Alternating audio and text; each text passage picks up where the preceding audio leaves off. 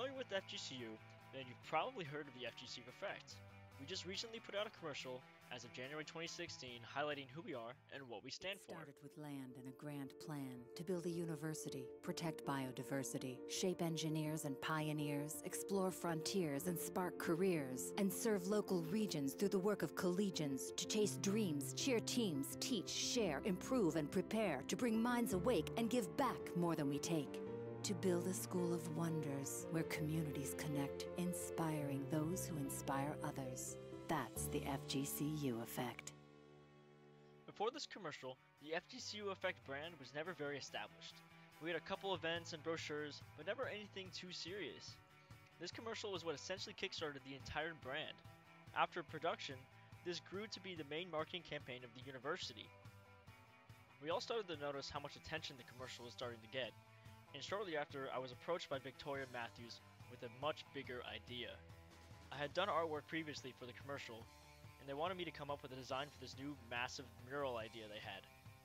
After about a week, we finalized the design and began brainstorming as to how and what and where and all these crazy variables you don't really think about until you're finally in the thick of it. The original idea was to paint the mural on the exterior wall of the library, but after months of meetings and group texts and brainstorming, we decided on a much more unique idea.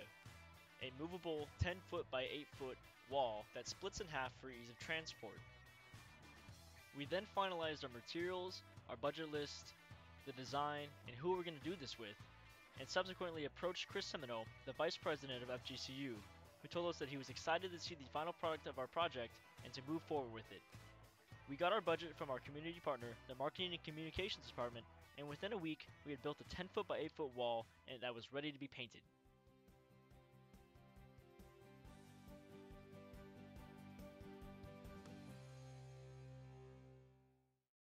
My name is Victoria Matthews. My major is marketing. I'm a student brand ambassador. Today we're creating a movable mural. So the mural basically um, embodies the FGCU effect. Students are creating it and then the day of the event, students will take part in finishing up the design of the mural. We'll be taking pictures of students. It'll be posted onto the mural itself, into the design inside the FGCU effect letters and the students make up the FGCU effect. Like that's the point of it. We'll take it to different events. Like we could take it to the President's Gala. We'll take it to different sporting events. We'll have it displayed on campus, maybe in the library at some points, Cohen Center. A partner in this project is in my chemistry lab class and he's like, hey, I heard you're a civil engineering student. Uh, can you build us a wall? I'm like, yeah.